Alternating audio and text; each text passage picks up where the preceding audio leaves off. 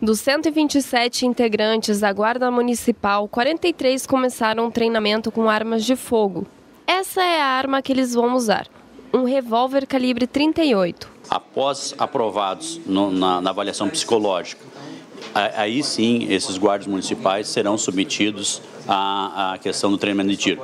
Isso quer dizer o seguinte: nem todos os guardas é, participarão da segunda fase, só aqueles aprovados na primeira fase e tem avaliados psicologicamente positivo e que estejam qualificados para, para tal. Mas essa primeira fase é obrigatória. Segundo o comandante do 4 Batalhão da Polícia Militar, o treinamento da Guarda Municipal vai ser parecido com o da Polícia Militar. Serão muitas das matérias bem similares àquelas que nós ministramos aos soldados principalmente as instruções é, específicas de armamento, tiro, legislação, abordagem.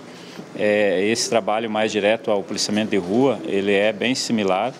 Inclusive, claro que os instrutores vão usar de toda a experiência vivenciada aí durante os cursos anteriores com a Polícia Militar para fortalecer a guarda com esse aprendizado. Ainda segundo o tenente-coronel, mesmo usando armas de fogo, a guarda municipal não vai fazer o mesmo papel que o da polícia militar. Em momentos nós trabalharemos junto, é, com muito mais facilidade de fazer então essa integração, porque todos estão nivelados com conhecimentos próprios para fazer uma ação conjunta.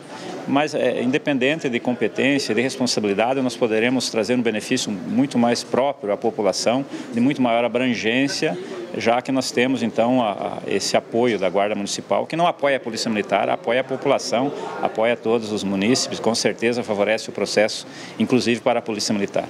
O curso tem duração de 558 horas. A expectativa é de que, em aproximadamente quatro meses, esse pessoal já esteja preparado para sair às ruas armado.